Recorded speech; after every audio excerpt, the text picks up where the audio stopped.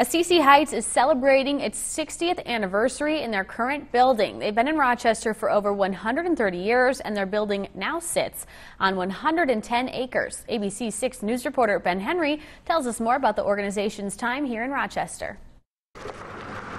For many years, cars have drove through the gates of Assisi Heights in Rochester to a campus rich with history and amazing detail. Well, Assisi Heights is the international home of the Sisters of St. Francis.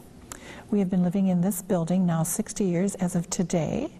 March the 8th, 1955 is when we moved in the building. Assisi Heights has been in Rochester since 1877 and has no plans of leaving. We have a wonderful campus here. It incorporates about 110 acres of land. We have walking paths all the way around the building.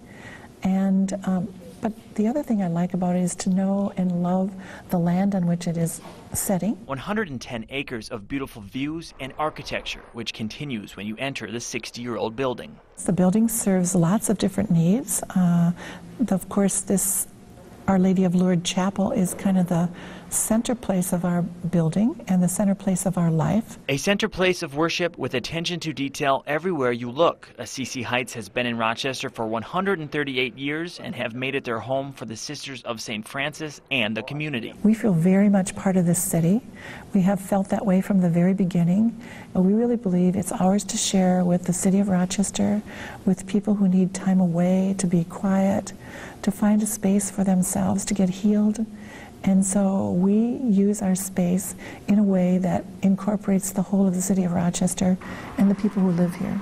In Rochester, Ben Henry, ABC 6 News. They offer tours on Mondays and Saturdays, and it's best to call ahead to make sure the tours are not canceled.